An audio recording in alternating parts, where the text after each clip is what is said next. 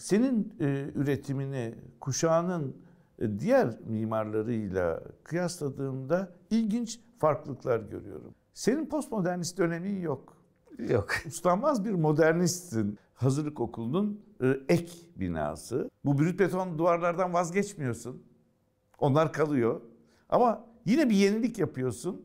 Brüt betonların arasında çelikten bir yapı gerçekleştiriyorsun. 2015 tarihli Riva evindeki yenilik e, neydi? Onun teknolojisi tamamen bize ait. Bağlantı detayı, yer bitişme detayı Yine bir inovasyon yani. Kesin olarak. Senin özgün detaylarınla var olan bir arayüz ve binaya bütün karakterini veriyor. Şişe camın Gebze'deki Arge binası. Cephede kılıcına duran camlar güneş kırıcı olarak bir fonksiyonu var ama mekanik değerleri o kadar da yüksek değil. Yerine sağır bir panel koysam daha çok işe yarayacak. Yani yine bir plastik öge aslında burada.